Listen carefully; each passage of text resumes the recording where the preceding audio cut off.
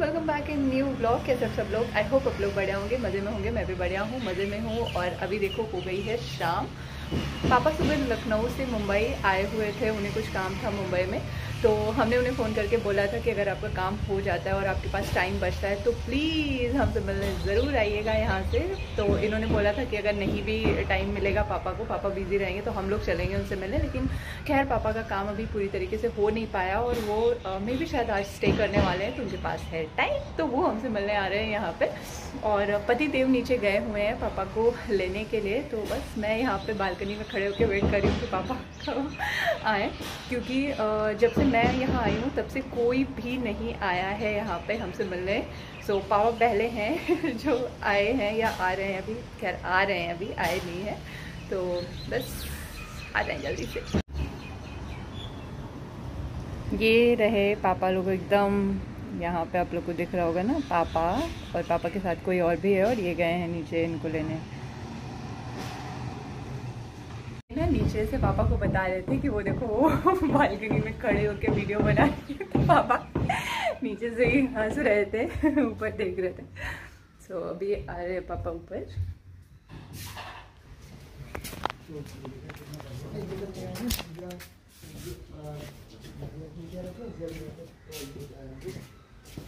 नमस्ते। नमस्ते।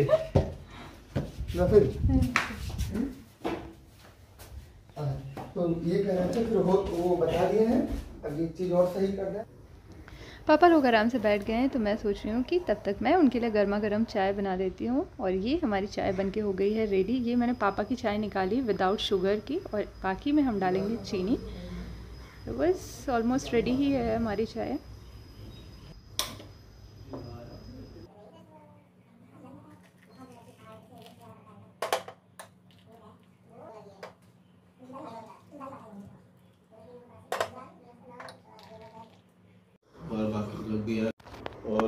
पतिदेव यहाँ पे पूरी इन्फॉर्मेशन दे रहे हैं पापा को कि कितने लोग रहते हैं इस बिल्डिंग में सेम डिपार्टमेंट के हैं या अलग अलग डिपार्टमेंट के हैं।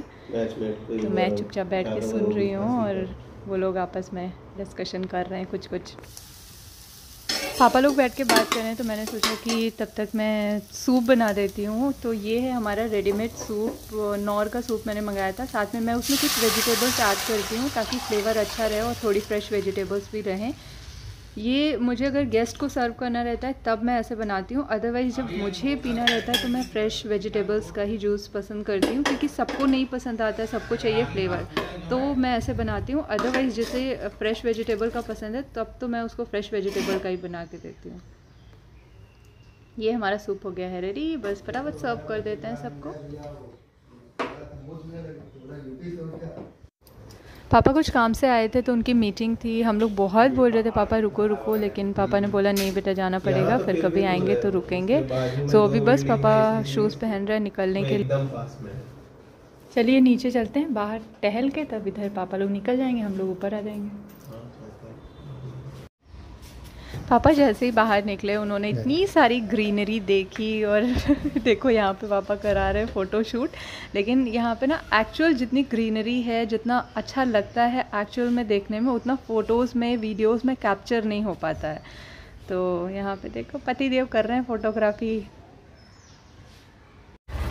नीचे आके हम लोग का प्लान हो गया है चेंज अभी हम लोग जा रहे हैं हाथी पहाड़ देखने. पापा का मन है वहाँ तक जाने के लिए. तो हम लोग ऑटो पकड़ के जा रहे हैं ताकि जल्दी जाके जल्दी वापस आ जाएँ क्योंकि दूर है यार यहाँ से. दो किलोमीटर है. पैदल चल के जाएँगे तो बहुत टाइम लगेगा.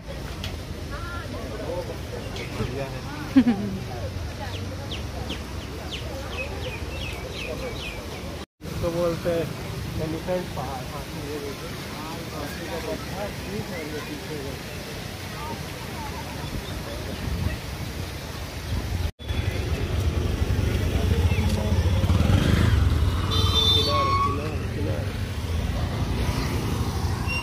चलिए। ऑटो से ही हम लोग भी निकल चलते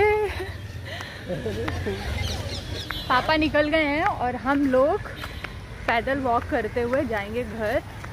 पहले हम लोग भी जाने वाले थे, हम कैब बुक करने वाले थे क्योंकि ऑटो नहीं मिल रहा था। फिर ऑटो मिल गया तो पापा लोग यहाँ से जाएँगे गेट पे गेट से ओला करके तब जाएँगे जहाँ पे होटल है पापा का वहाँ। और हम लोग टिकटॉक टिकटॉक करते हुए जाएँगे घर।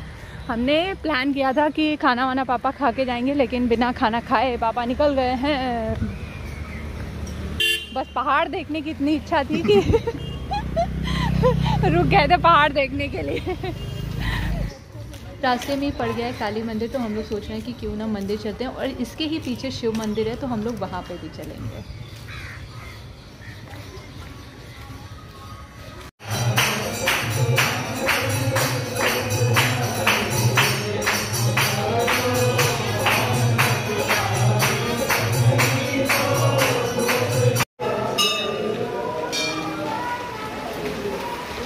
बाहर होने लगी है बारिश।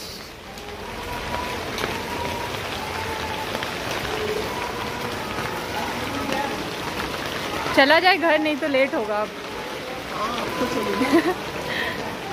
अरे तो क्या हुआ?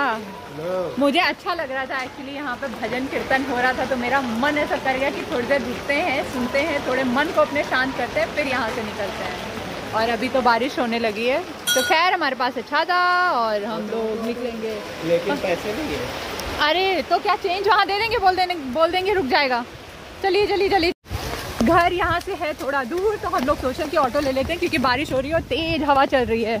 छाता टूट जाए और हम घर सही सलामत ना पहुँचे इसलिए रुकना भैया।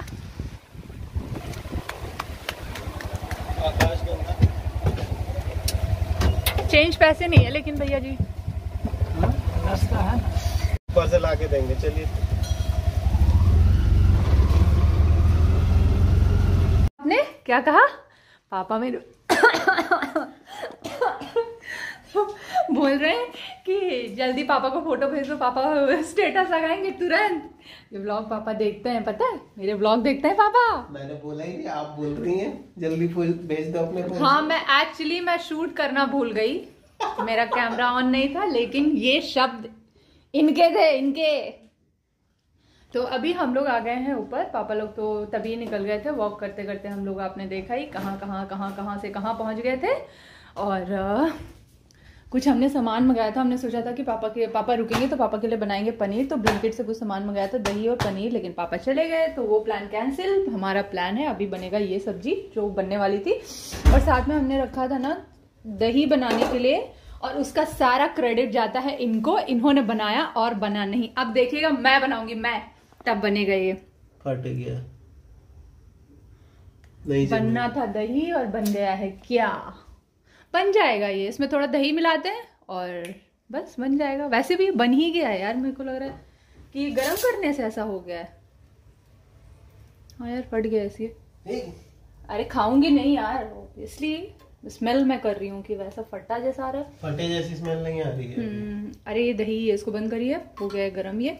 गरम? नहीं यार नहीं नहीं नहीं तो हम अपना दही सही करते हैं दही बनाते हैं और फ़िलहाल आज के व्लॉग में इतना ही। अब से मिलते हैं नेक्स्ट व्लॉग में तब तक के लिए बाय बाय छोड़ रहा था मटकी से।